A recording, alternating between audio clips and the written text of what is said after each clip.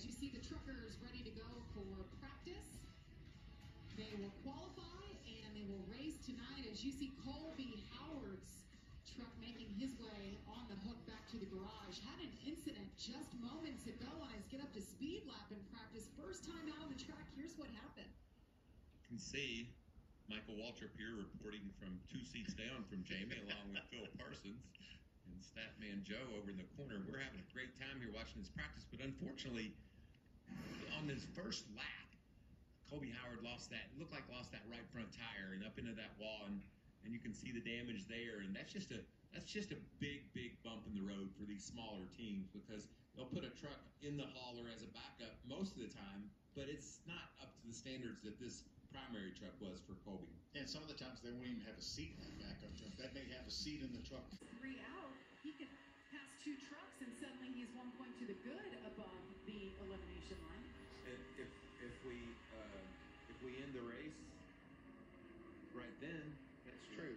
It's something we like to watch throughout. It makes it more exciting for the Another viewers. another issue. Another incident already early on. This is just a few minutes. Davis.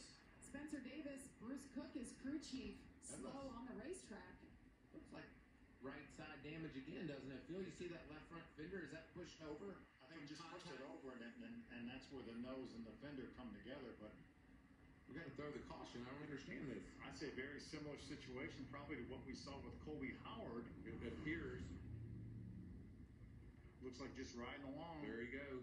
just about a 30 degree angle up into the outside safer barrier. Now, wow. We see that once, and you think, yeah, the team just had part of their suspension off. You see it twice, you start to wonder what what could be going on here.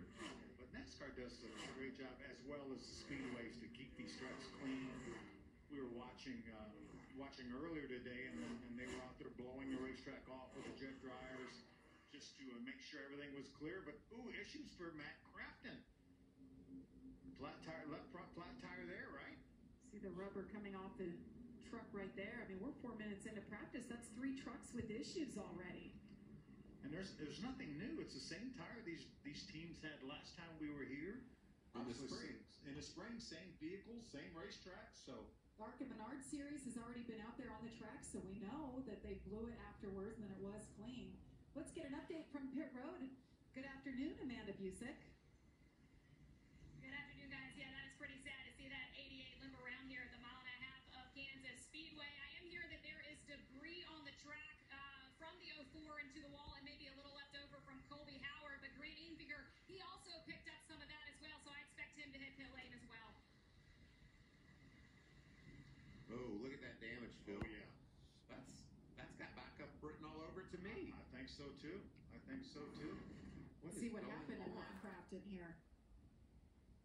You can see Matt Crafton getting to the outside while the zero four truck is behind him, running slow, stopping Well- up against that inside wall. So now I may be thinking, as Amanda was reporting debris, maybe the 88 cut a left front tire down from the debris from the zero four truck, possibly. Yeah, that's what I'm sure happened there. The zero four uh, crept along, limped along that outside wall for about a half a lap before the caution was thrown, and uh, Crafton was just the guy that happened to run up behind that